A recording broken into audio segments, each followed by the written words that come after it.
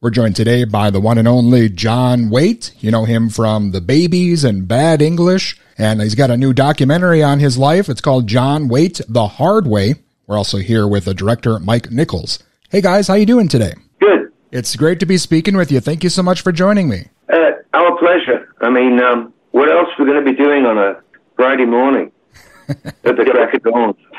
Time.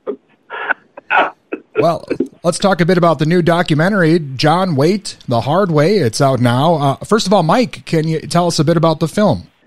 Wow. Uh, you know, it's hard for me, like I think it is hard for John to talk about, because in one sense, there's a lot of emotions and stuff in there. And to me, in a weird way, I, I think it's a little bit of an art film disguised as a documentary at times, because it took place and how it took place. And if there was a one of those cooking shows where they gave you a set of ingredients to make something out of. When you would make a normal, uh, regular platform movie, we might have been able to follow John around on a tour. We might have been able to do lots of these things.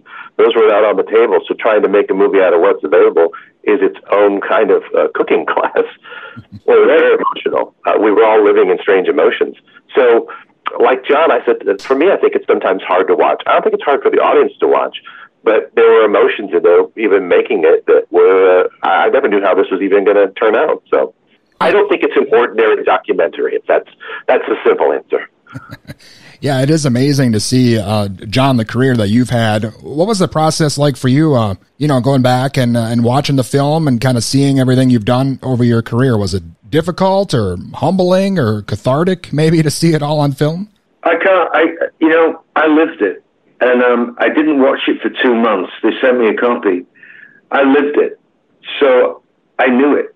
It's just how it's presented that gives it the drama and, and the curve and the emotion. You know, it's like um, it took me a long time to watch it.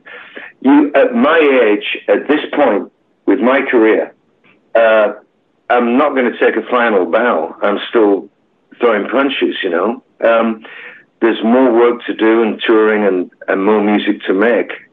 But the story so far aspect of it, it's almost unbelievable. It's just unbelievable. I mean, some of the stuff I've experienced and seen and the life I've had has been kind of a wonderful thing. Uh, it's just been so dramatic. The highs were incredibly high and the lows were kind of like there they are. But nothing stopped me. I, I was first and foremost, you know, writing my thoughts down and picking up a guitar. And it isn't like it was an ambition. It was deeper than that. I wasn't looking for success. So every time I took a punch, it was like, so what? You know, I didn't go and get a job. It's too late for that. You know, I, I went back and picked up the guitar and looked out the window and wrote a song. It's what I do. And what's happened along the way has been extraordinary, just extraordinary. Every five year period is almost like a separate career in itself. And I'm relieved that I've had the chance in my life to make something of it and to, to make art and to affect people and have that conversation with people. So I know that I succeeded, even though it was a rocky road, you know. It's amazing to see the career you've had um, as far as, you know, the huge success with the Babys and then with Bad English, of course, your solo career. I mean, I can only think of a handful of musicians who have pulled that off. Uh, so that, I mean, just for you, that's got to be great. And, uh, of course, uh, tough as well to kind of fit all that in into the film, but you guys pulled it off. It worked out great. Mike.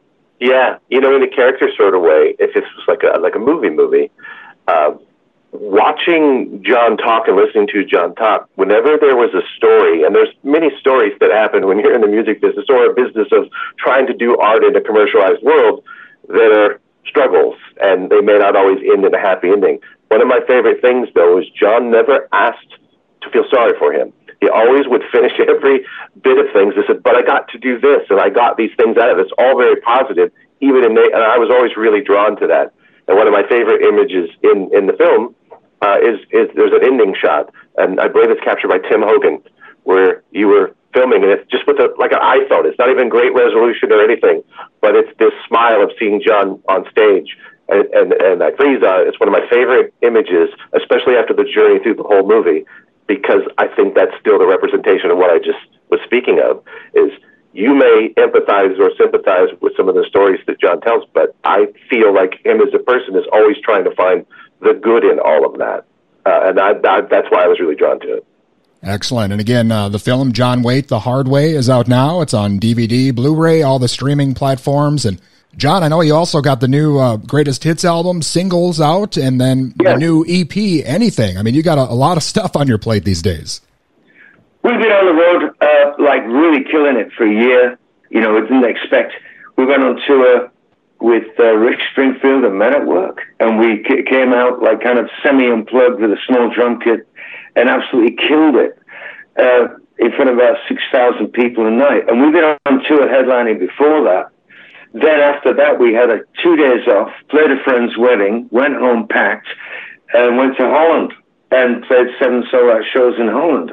And then we came back, and I, I went straight to a gig in uh, uh, outside Boston. You know, I, I, and now we're we're going out again. But at the end of the year, all of, of all this, it, we've played probably to the most people we've played to in the last few years. It's been a really glorious, and we just enjoyed the hell out of it. But now, at the end of the year, here comes the hard way. You know, a documentary that's kind of no, no holes barred. You know, doesn't pull any punches. It's, uh, it's, it's pretty cool. I mean, I, I, it all seems to be kind of things coalesce. You know uh, the, the, release of the Anything EP, uh, the the bonus track Masters of War, Bob Dylan. That's a standalone track uh, with the heart of the Ukraine intended to be spotlighted, and then the 18 song singles release. Everything's happening at once, but it doesn't seem to be a surprise. We just move into it and uh, and dance. There's nothing it feels right. Everything feels right. And if the documentary is well received, which it seems to be being, that would be a tremendous end to the year. Awesome. Thanks a lot, guys. I appreciate it. The new film is great, and hopefully I can speak with you again sometime. Well, God bless you. Thanks for the support. All right, Thank you bet. And again, that was director Mike Nichols of the film John Waite, The Hard Way. And of course, John Waite joining us as well. His new album, Singles, is out, and his new EP, Anything, out as well.